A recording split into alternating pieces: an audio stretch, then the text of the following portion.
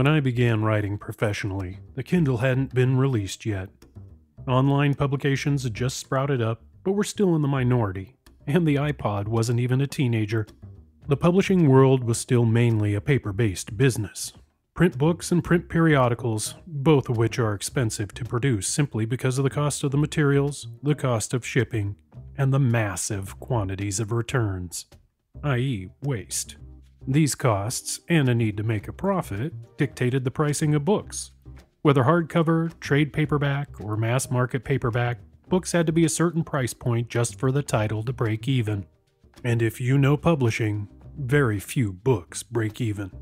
Then came the ebook revolution. Huzzah! Huzzah? Huzzah. Ebooks changed publishing in many ways, but one thing they especially changed was the pricing of books. In a very big, big way. There have been countless articles, essays, lawsuits, and debates over the pricing of ebooks.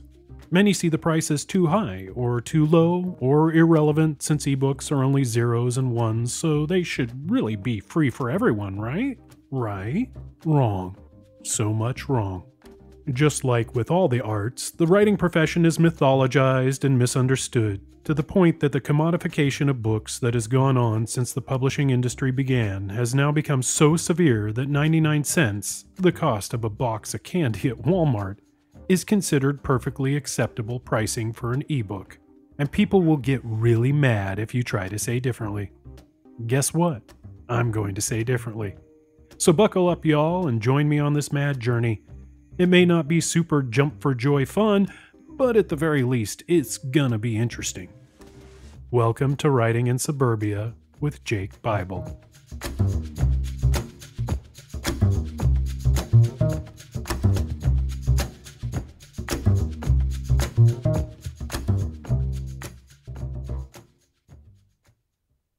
Hey, y'all. Just wanted to let you know that I have more than this podcast going on. I'm also publishing a weekly newsletter, as well as releasing chapters of novels, the original podcast recording of Dead Mech, the Friday Night Drabble Party, and so much more. Where is all this greatness? Go to jakebible.substack.com. That's jakebible.substack.com. You can subscribe for free and get plenty of cool stuff weekly. Or become a paid subscriber and get the first releases of novels and audiobooks before they go on sale. Full access to the Dead Mech podcast immediately instead of weekly installments. Access to the full archive and exclusive threads and discussions, plus a ton of cool stuff I haven't even thought up yet. Head over to jakebible.substack.com and subscribe now.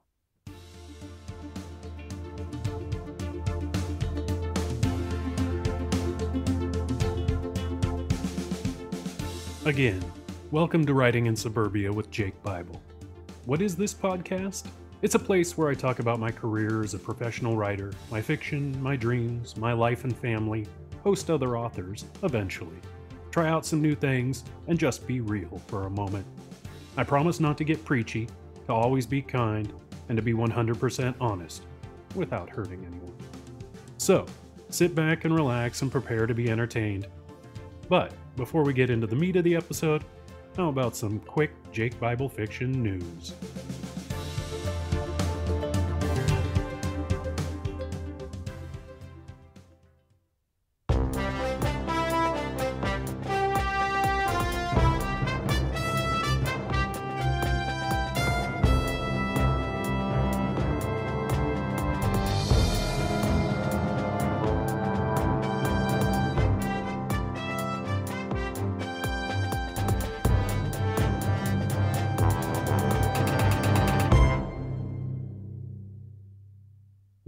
To the JBF News. First order of business is to let you all know that if you hear noises during this podcast, it's because my dog just had a tumor removed, so I have the office door open to keep an eye on him. That may not be news per se, but it's relevant, especially since he's 100% deaf and tends to bark loudly at the most random times. So, fair warning, y'all, there could be dog noises. Such is the life of a full time writer working from home which I think a lot of people listening right now can understand the working from home thing. Definitely.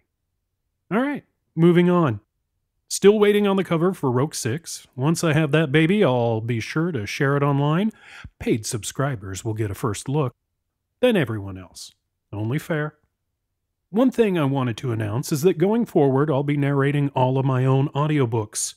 Yes, this includes the next two Rogue novels. I love Andy's narration, believe me, but due to licensing and rights stuff, I have to do it myself so I can release the audiobooks wide and also because I just can't afford to pay up front. I'll take a hit for it, I'm sure, but hopefully fans and listeners understand. And slowly but surely, I'll also be narrating some of my back catalog too, so everyone should be getting used to my voice. If you aren't already, by listening to this podcast and all the fun stuff that's dropped in it. Speaking of episodes dropping, this episode drops on Monday, the 26th, which means it's the day before my birthday. I turn 47 on the 27th. Crazy. There's a nice discussion going on over in the threads at jakebible.substack.com. We're talking about TV shows we like and miss, uh, music scores, book adaptations, and so much more. Just a good old general discussion. Join in if you have a few minutes. Oh, and I will be dropping a short story or two for my paid subscribers probably in the next few weeks, so be on the lookout for that. And if you want to get in on that, then go to jakebible.substack.com and subscribe.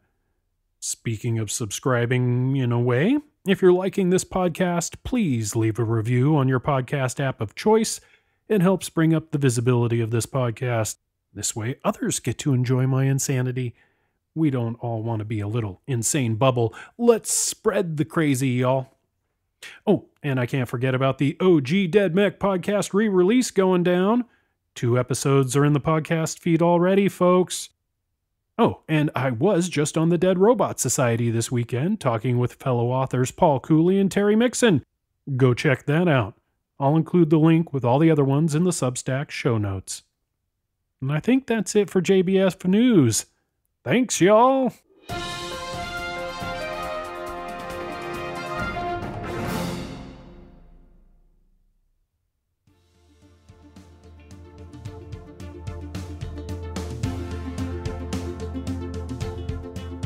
I'm going to start this episode off with a huge disclaimer. I'm eternally grateful for my fans and for all the readers out there, whether you prefer ebooks, print books, or don't have a preference. Thank you for reading and know that what I'm about to say is not meant to be a rebuke in any way. I'm hoping it's enlightening and maybe opens some eyes to the realities behind what it takes to produce the books that you all love to read. So, if at any point you find yourself getting angry or frustrated or upset over what I'm saying, please remember that this is not personally about you. I'm simply explaining the way this industry affects me. Come here, let's hug it out. Do it. Hug me. Hug me.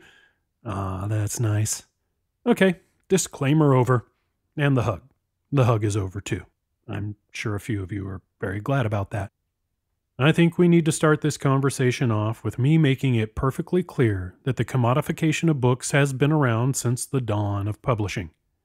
But there is one point in publishing where it really began to accelerate. Let me take you back to a simpler time. A time where Oh hell, simpler times never existed. Who am I kidding? Let's just go back to the dawn of pulp fiction, especially the pulp novels of the 1930s and the 1950s. Pulp novels were published using cheap paper pulp, hence the name. You know, that yellow, rough, thick paper that started to get that weird smell after a few years on the shelf.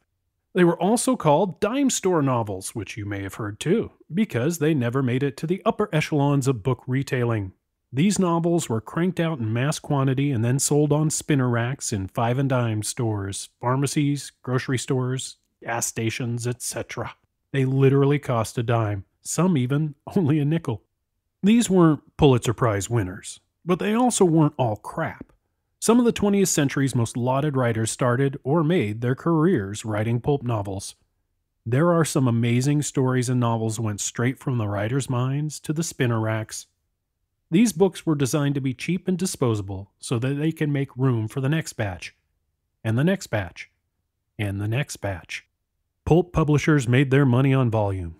Yes, all publishing works on volume, but the pulp publishers were never expecting one of their titles to become a massive national bestseller that would create income that could help subsidize the novels that didn't sell. Nope, pulp publishers cranked out title after title. They looked at total volume across all titles as their goal, since who really cared about the individual titles themselves, right? It was all just sci fi and horror and crime and westerns and romance and, well, erotica. Hell, the lesbian crime erotica genre alone was a huge seller. Seriously, that was a genre and it was big. So, commodification of novels has been around for a very, very long time. But even with the mass market volume business model, there was still some respect for the writing profession. Some. Writers were considered professionals, they were artists. Even when pulp writers were portrayed in film and later in television, they had a certain mystique to them.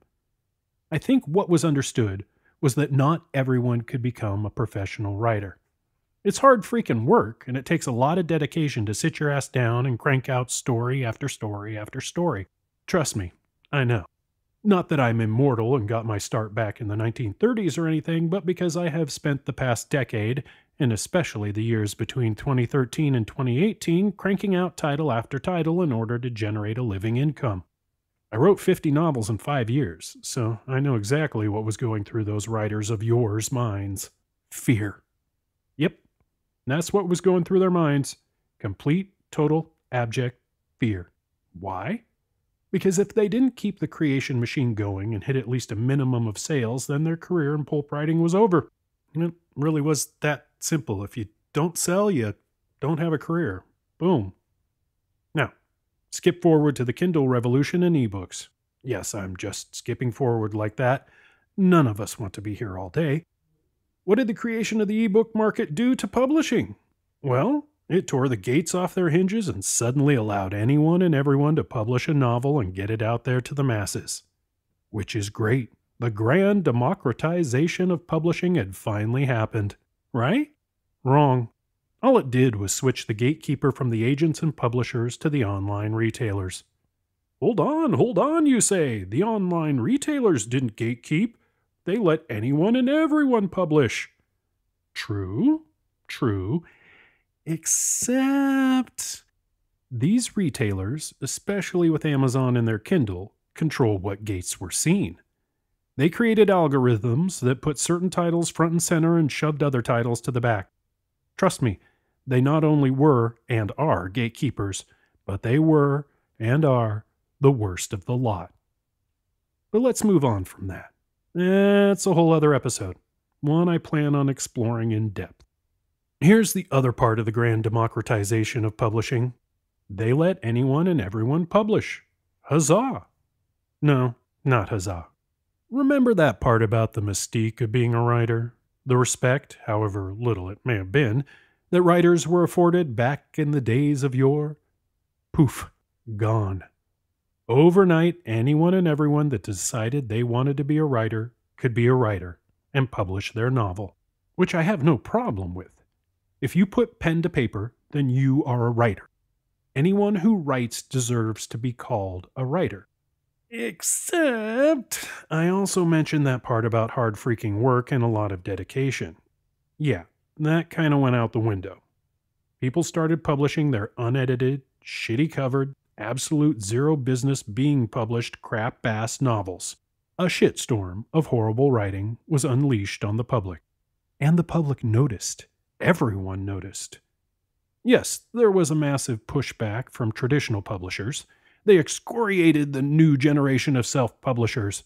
It didn't matter if the book had been edited or not, had a great cover or not, was written by an experienced writer or not. Publishing stood up and shouted that it was all crap.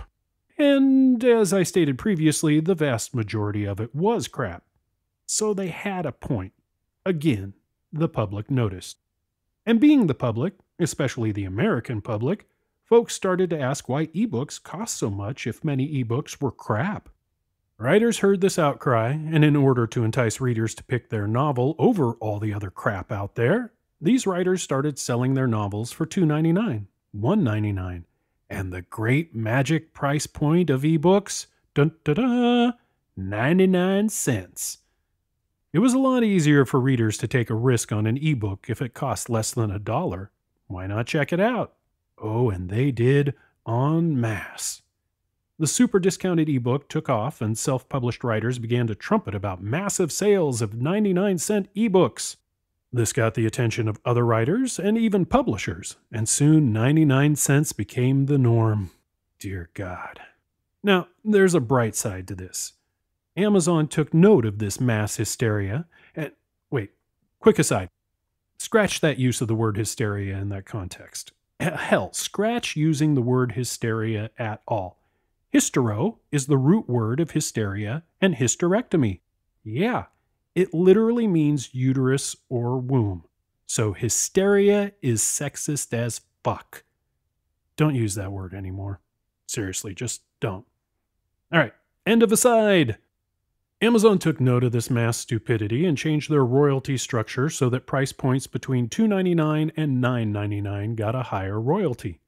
They saw this pricing as acceptable and appropriate for ebooks. Not too cheap, not too expensive. They Goldilocks the ebook market. That was nice of them, right? No, nice had nothing to do with it. They just weren't making enough money off of 99 cent ebooks. But it was too late, and the damage had been done. Consumers got used to 99 cent ebooks, so when an ebook came out higher than that, or God forbid, higher than 9.99, people lost their shit. I mean it. They got really, really mad and started asking why ebooks should cost anything but 99 cents. Hell, they wanted to know why ebooks weren't just free, which is a later episode too. Free has its place, people. Trust me, my career was built on free. Anywho, shit was lost because publishers and writers had the audacity to price an ebook above 99 cents. How dare they! Ebooks were only zeros and ones, right? They weren't made out of paper, so they didn't have that cost. You didn't have to worry about shipping or returns, so there weren't those costs. Ebooks should be cheap. Cheap! And now this episode really begins. All the words before were simply preamble. There are plenty of folks out there that have analyzed all of this, folks with a lot more experience than me. But they aren't on this podcast now, are they? I'll make this quick and hopefully easy to understand. First, ebooks aren't just add ons. They take different formatting, different covers, uploading to the many retail sites, different retail descriptions, since more can be said on a screen than on the back of a novel, and so on. And those are just the highlights. So the argument that ebooks don't cost anything to produce is bullshit. If you believe they cost nothing to produce, then get yourself right in the head, because you're wrong. I'll explain further. The way print publishing works is the hardcover comes out, which is the most expensive way to produce a book. Then, after a year or so, the trade paperback comes out. Trade paperbacks are those books that are big like the hardcover, but don't have the hardcover or dust jacket. Then, after the trade paperbacks, come the mass paperbacks. These are the smaller paperbacks that most people think of when they think of paperbacks. The ones at airports and on spinner racks, which still exist, people. Spinner racks still exist and everywhere else they can be placed for consumers to see and impulse buy. Each level of publishing has a price point, descending from the most expensive hardcover to the least expensive mass market paperback. Now, raise your hand if you think mass market paperbacks are the cheapest because they are cheaper to produce. Anyone? I, I see some raised hands out there. In part, you hand raisers are correct, but only in part. You see, a major reason mass market paperbacks are cheap is because the publishing house has already made their money from hardcover sales and trade paperbacks. If they publish trades, not all do.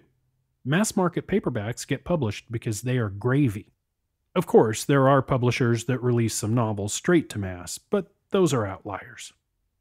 Here's the rub, y'all. The pricing of mass market paperbacks is the benchmark used to compare to the pricing of ebooks. I've seen it and heard it over and over and over again that since paperbacks cost around $5.99, then an ebook, which doesn't have printing costs, should be much, much cheaper. Except, and I'm saying that word a lot during this podcast, except that ebooks tend to come out at the same time as the hardcover.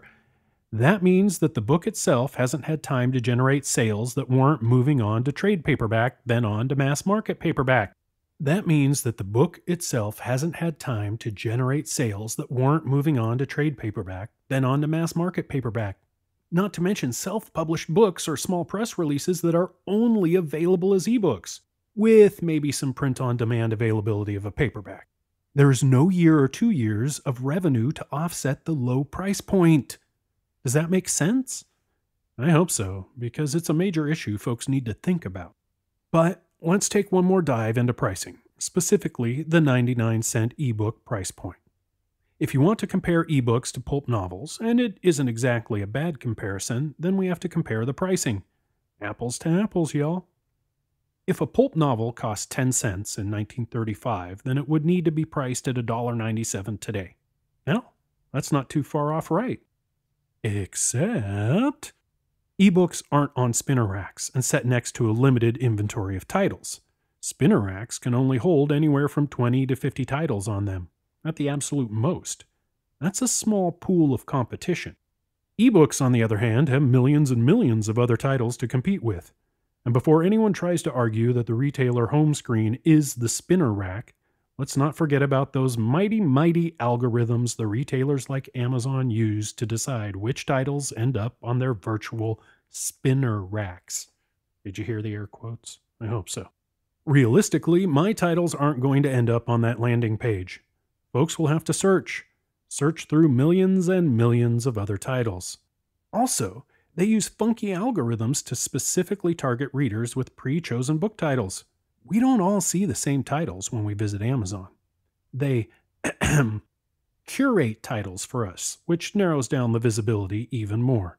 Like if a bookstore employee kept steering you away from one aisle and over to another without you asking them to or wanting them to. Not even close to apples to apples. And should we get into the work that goes into creating a title, even if it is only released as an ebook? Yes, we should. We'll use me as the example. I spend hours upon hours, days upon days, weeks upon weeks coming up with a story. I'm usually thinking about what I'm going to write next while I'm actively writing a different book. Then I have to sit down and write that puppy. I can write a 75,000 word novel in three weeks with one week extra for editing. From start to submission, four weeks and I'm done. If that's all I'm doing. Now, well, I have a podcast. I have audiobook narration and production. I have marketing. I have the actual work of publishing the novel. I have sales to check on, newsletters to write, and so, so, so, so, so much more. It takes me at least eight weeks now to write a novel. But for simplicity's sake, let's say it takes me about 80 to 100 of actual in my seat at my desk physical writing hours to complete a novel. I think 100 is safe. Plus, it makes for easy math. And we all like easy math. If I sell my novel at 99 cents, then that means I make mm, 0.0099 cents per hour. Living the rich life. Of course, I'll sell more than one ebook. Real numbers time. From 2013 to 2016, I sold 13,000 copies of Z-Burbia. That should come out to $128.70 per hour, right? Who wouldn't want to make that? But at 100 hours, I would have made $1,287. How about we multiply that number by 50 titles just to make it easy? $64,350 over five years because I wrote 50 novels in five years. Is that a living wage? Not even close. So let's get real. 13,000 copies of Z-Burbia at $2.99 each comes to $38,870. Then deduct 30% as Amazon's share, and we get $27,209. Then deduct the 50% that my publisher takes, and we have $13,604.50, which comes to $4,534.83 per year for Z-Burbia over three years. Yikes.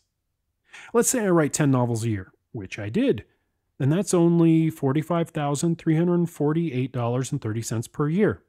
Not the worst, but not the best salary, especially since I have to pay taxes on all of that, not to mention expenses that I have. Also, I was using Z-Burbia numbers as my base. That is one of my best selling titles, so that $45,000 is best case scenario. Do I need to tell you that a writing career is dominated by worst case scenario, not best? Well, it's true. It's a feast or famine profession, heavy on the famine. Do we really need to run the numbers for a 99 cent price point? It'd drop my income down to $15,000 a year. That's it. $15,000 a year for the sale of about 43,000 ebooks. Raise your hand if you think ebooks are priced too high. Oh, I still see a couple raised hands because you think print sales boost my income, right? I make 95% of my living off ebooks. $15,000 a year, folks, at the 99 cent price point. I'll let that sink in for a minute. While that does sink in, how's about a super quick word from our sponsor? Which is me. I'm the sponsor. The spooky sponsor.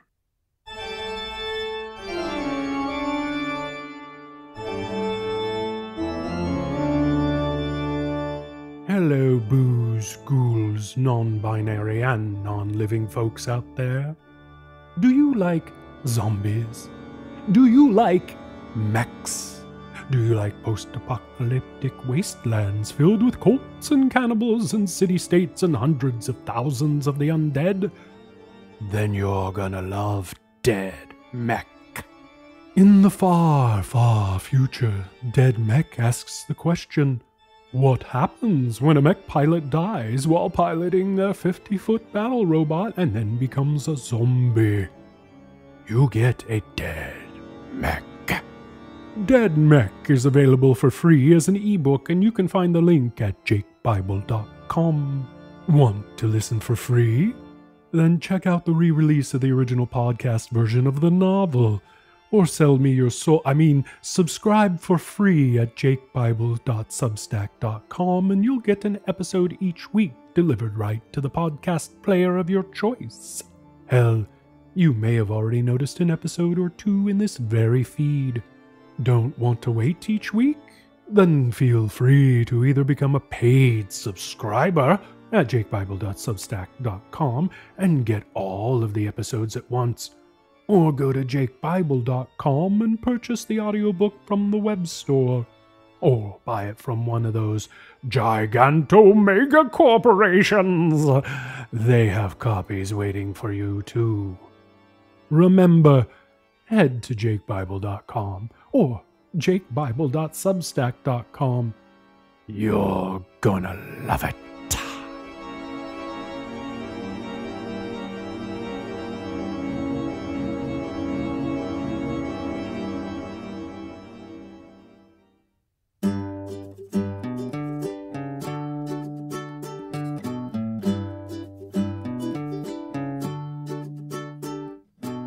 Did you all have a moment to think about those numbers I shared while you listened to that amazing spooky commercial? So amazing. So amazing. Yeah, anyway, did you? Did you have a moment to think about those numbers? I hope so. Still think that 99 cents per ebook is a fair price? I'm sure some of you still do. No worries. Some folks think a $15 minimum wage is too much because it hurts mega corporation profits. There's just no reasoning with some folks. But hey, I don't want this to be a bummer episode, and I promise to always be kind. So, before I kick it over to the end credits, I wanted to just say thank you. No matter what you think about ebook pricing, I don't care, honestly. Just thank you. Thank you for listening. Thank you for reading. Thank you for being you and digging my insanity. Just one big thank you. Anyone want another hug? What, what, hey, where are you going? Come back. All right.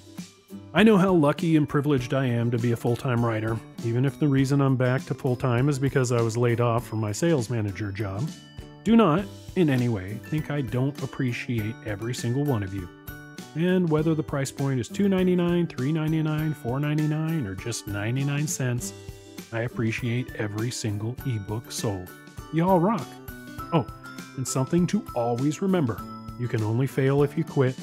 Life, writing, Everything is a long game. So keep at it. I'll talk to you next week. Cheers, y'all.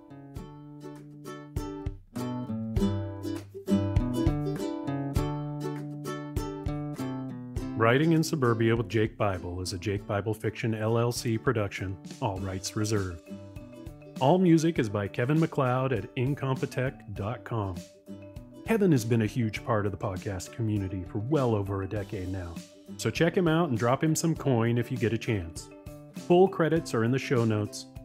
For all links to works and stuffs mentioned in the episode, please check out the show notes or head over to jakebible.substack.com. Thank you for listening. Cheers, y'all.